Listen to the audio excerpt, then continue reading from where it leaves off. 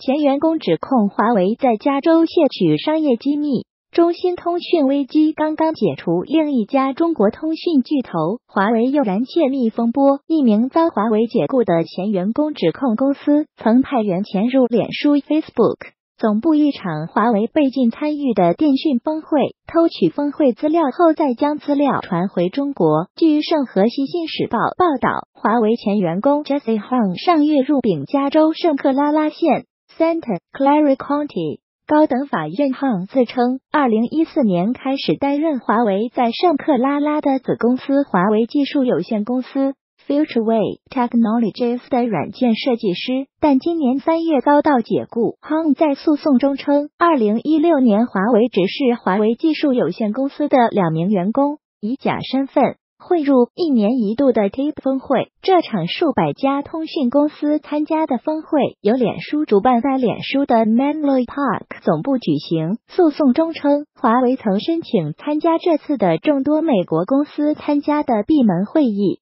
但被脸书拒绝。随后出现了华为策划员工以假身份混入会场的事件。亨在诉讼中称，华为先是命令他和华为技术有限公司的另外两名员工以虚假的美国公司名义报名参加会议。亨在诉讼中称自己拒绝参与，于是华为安排了华为技术有限公司的一名陈姓经理和另一名员工使用掩护性。的美国公司名称登记报名，并汇入 TIP 峰会的会场。Hang 在诉讼中称，陈姓经理和另一名员工参加峰会后，华为撰写了一份报告，其中列出了华为竞争对手的商业计划，并发回华为的中国总部。Hang 认为，窃取商业机密及或将这类机密信息发回在中国华为的行为。属于非法亨指控，他因为质疑华为的非法行为而遭到解雇，并向华为提出了一点零五亿美元的索赔。电信基础设施项目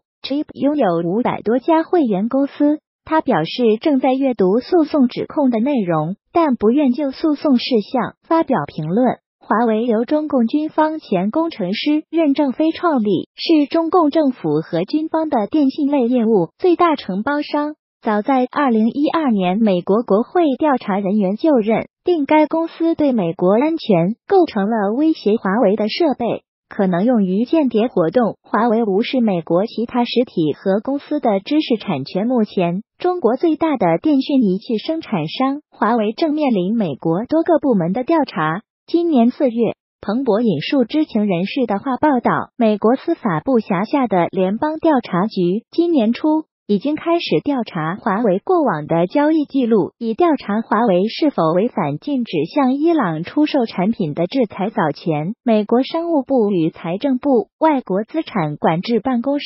（OFAC） 也曾向华为发出行政传票。美国国会美中经济及安全审查委员会今年四月发布报告，指控中共当局可能支持某些企业进行间谍活动。遭点名的中企包括华为。中兴通讯、联想三家。